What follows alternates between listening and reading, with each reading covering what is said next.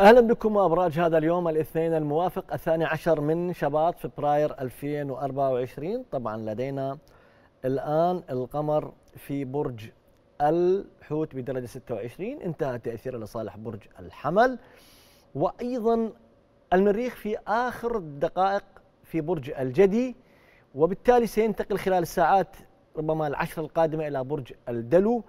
وهي بداية جديدة لوضع تكويني جديد وخلينا نتعرف على مولود هذا اليوم يحمل الخارطة رقمية 344 هذا المولود صعب إيقافه صعب يعني إقناعه سيكون ربما طموح جدا مستقل جدا وصريح جدا. قد تبدو صراحته أيضا جارحة في بعض الأحيان وفي بعض المواقف. إذا خلينا نروح إلى توقعات الأبراج لهذا اليوم. الحمل طبعا اليوم نستطيع اليوم أن نبادر أن نقوم بتغييرات. نستطيع القيام بفرصنا الآن هي أفضل بكثير وأيضا طاقتنا النفسية مرتفعة جدا فبالتالي هي فرص مهمة جدا للقيام بذلك. اليوم أصحاب برج الثور راح نشعر بخمول بتعب ولا يفضل اليوم مراجعة ربما طبيب أو زيارة طبيب أو إجراء فحوصات. ليش؟ يعني التكوين في حالة تراخي وتراجع وبالتالي ربما تأتي النتائج غير دقيقة. وتضطر مرة أخرى أيضا أن تعيد نفس هذه ربما الفحوصات.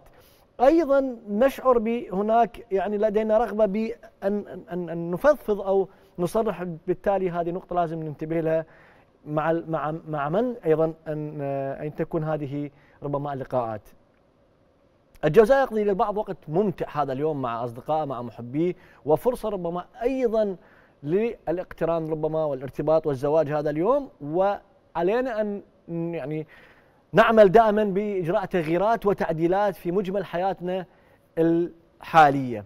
أصحاب برج السرطان إحنا اليوم في أجواء طبعا مواجهة طبعا، اليوم ربما في مجال العمل نبدو أيضا دؤوبين جدا مثابرين جدا لكن قد لا نصل إلى نتيجة مرضية أو مقنعة. السبب ليس في نوع العمل بقدر ما هو في إنه اليوم الذبذبات قد لا تمنحنا هذا الشعور النفسي. الأسد قد نتلقى وفر من الاتصالات الخارجية الداخلية وأيضا ربما نعقد الكثير من اللقاءات المهمة وقد نخرج بنتيجة إيجابية وهذا جيد وإيجابي. أصحاب برج العذراء تزداد نفقاتنا هذا اليوم وقد تبدو الظروف أمامنا غير واضحة متذبذبة متقلبة. البعض ربما أيضا قد يحاول أيضا آه، إجراء نوع من أيضا الرعاية الصحية بالتالي هذا لا بأس به. بقدر ما يعني آه، أن نبتعد عن التداخلات الجراحية الآن غير مفيدة بل هي ضارة إذا لم نكن مضطرين لذلك. الميزان عليكم تجنب وضع أنفسكم في مواجهة مع الشريك هذا اليوم. لا يفضل اليوم انتقاد أو لوم أو أيضا قد نطرح مواضيع آه، غير مجدية. فبالتالي ننتبه لهذا الموضوع وأن نهتم في الجانب المالي ونفكر كيف أيضا أن نطور قدراتنا خلال المرحلة القادمة. أصحاب برج العقرب اليوم نشعر ونحن لسنا بطاقتنا ربما نشعر أن هناك تراكمات من العمل هناك من يكلفنا بمهام إضافية أو البعض ربما هو راغب أن يبقى إلى فترة أطول في مجال عمله يعني في هذا الموضوع لكن هذا قد يؤثر على صحتك إذا لم تنتبه لهذه النقطة.